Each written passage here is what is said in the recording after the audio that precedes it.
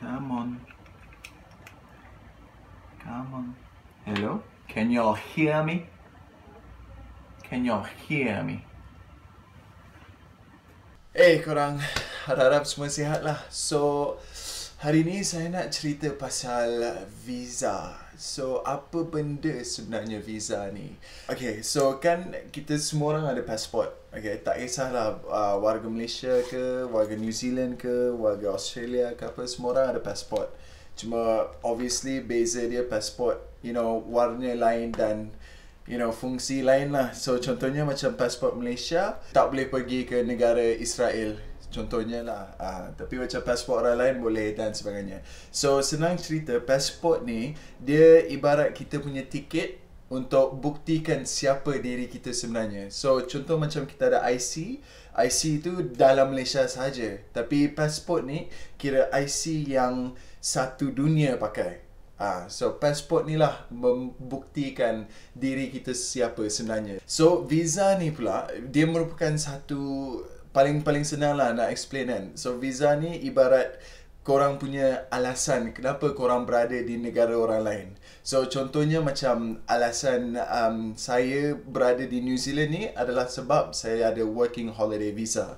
So itulah membuktikan bahawa ya saya boleh bekerja dan sebagainya. Contoh paling senang yang lain um, macam ada negara yang korang pergi yang kena ada visitors visa. Ah uh, so visitors visa itulah alasan dia. So alasan kenapa korang nak masuk negara orang lain tu is sebab korang tengah visit lah.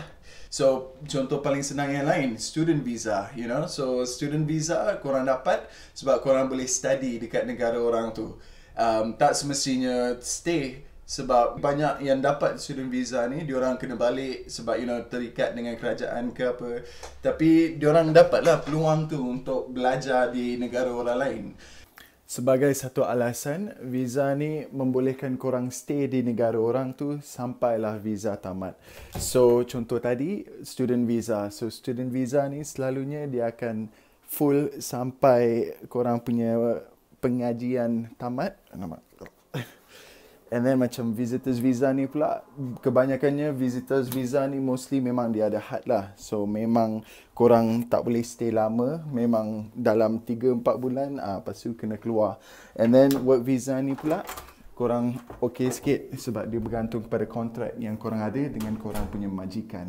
So selalunya bila kontrak tu dah habis visa tu akan tamat. So sama ada korang renew kontrak tu ataupun korang caw lah cari majikan yang lain. So, dengan itu, visa ni memang be careful lah juga. Sebab masalah paling satu is kalau korang masih berada di negara orang tu dengan visa yang tak sah, then aku lupa nak bawa kunci.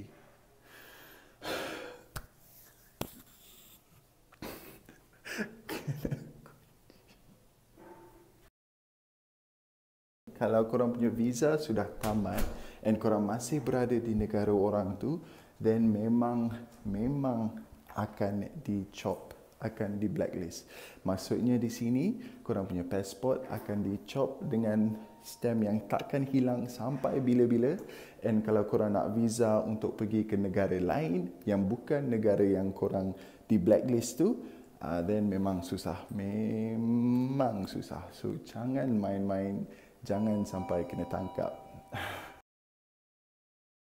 So, visitors visa, student visa, and then work visa. So, ni visa ketiga ni paling basic lah. So, sama ada korang boleh visit negara orang tu, belajar di negara orang tu, ataupun bekerja di negara orang tu. So, itulah visa. Kalau korang ada soalan lain, post je dekat bawah. Saya akan baca, saya akan try sedaya upaya untuk um, respond kepada komen korang. And bagi mereka yang puasa tu, bagi mereka yang Muslim, um, selamat berbuka, selamat berpuasa dan selamat hari raya.